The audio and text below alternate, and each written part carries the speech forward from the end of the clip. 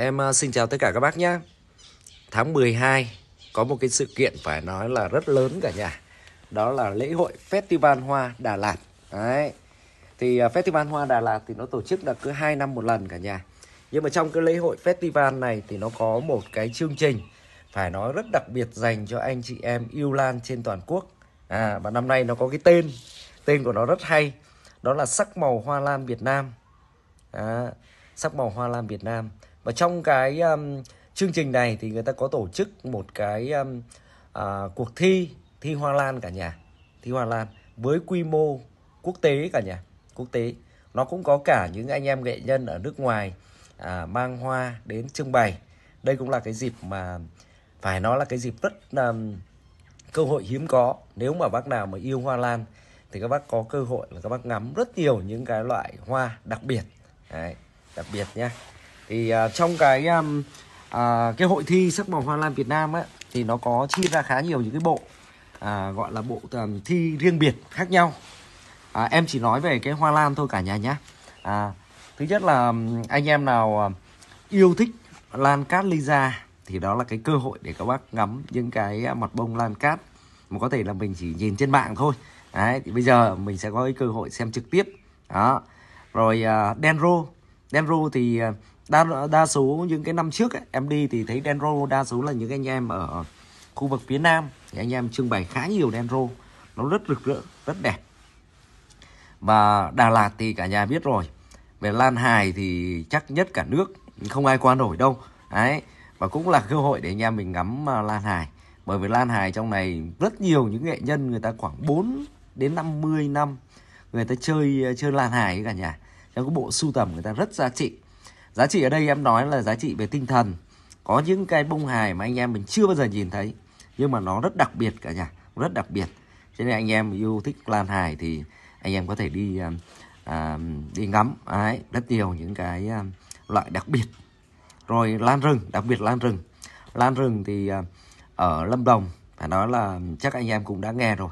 Lan rừng à, trong em thì cũng không à, không phải là à, riêng gì về đam mê mà anh em còn à, kinh doanh à, ờ, có những cái nhà vườn lớn rất quy mô cả nhà nhé rất quy mô nên là anh em có cơ hội thì em có thể dẫn anh em đi một số những cái à, vườn à, lan đẹp để anh em à, à, thưởng thức ừ. rồi à, nó có cái loại lan tổng hợp nữa cả nhà tổng hợp đó là những cái loại lan nhập ngoại ấy.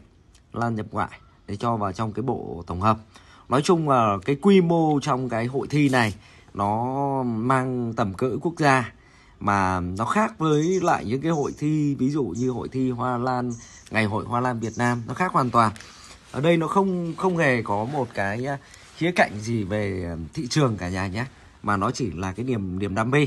Cho nên là bác nào mà có niềm đam mê hoa lan thật sự thì các bác uh, có thể uh, uh, sẽ rất phù hợp với cái hội thi này.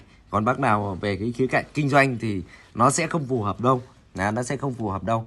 Đấy cho nên là nó sẽ quy tụ rất nhiều anh em trên toàn quốc. Người ta mang hoa đến trưng bày. Em thấy là như em được biết là cũng rất nhiều anh em đã chuẩn bị à, khá nhiều những cái sản phẩm đẹp để mang trưng bày đấy cả nhà. Đó. Thì riêng à, anh chị em trong kênh youtube Lan Đường Lâm Đồng à, cũng có khá nhiều anh em liên hệ với em rồi. À, thì ngày 17 tháng 12 là người ta chấm thi. Như lịch trình của tụi em là ngày 16 là em à, sẽ lên trên Đà Lạt. Và anh em nghệ nhân sẽ tập trung. À, buổi tối 16 sẽ ăn uống và đến à, ăn uống à, vui chơi. Và đến ngày 17 sáng 17 là mình sẽ ra vườn hoa thành phố để mình à, à, xem ban giám khảo à, chấm thi. Đấy. Thì à, các bác có nhu cầu thì anh em anh em có thể liên hệ với em nhé. Liên hệ với em thì chỗ nhà em là cách à, thành phố Đà, Đà Lạt cũng khá xa đấy cả nhà. Đấy, cho nên em sẽ hẹn gặp các anh em ở trên à, thành phố Đà Đà Lạt. Rồi anh em đi dạo. Ừ, anh em tưởng tượng là trời Đà Lạt tháng 12 xe lạnh anh em mình dạo trên những con đường hoa.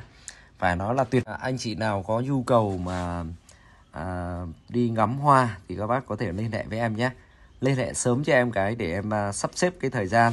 À, thời gian để à, à, sắp xếp thời gian anh em có thể gặp nhau rồi em dẫn anh em đi à, ngắm hoa. Có thể là à, sẽ à, chia sẻ kinh nghiệm à, một số anh em nghệ nhân à, người ta sẽ chia sẻ những cái kinh nghiệm à, trồng lan để anh em mình à, cùng à, thêm cái niềm đam mê cả nhà thêm niềm đam mê.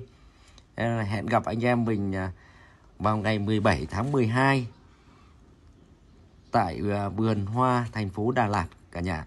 Tại vườn hoa thành phố Đà Lạt thì à, ở đó thì em thấy các ban tổ chức người ta tổ chức cũng khá tốt.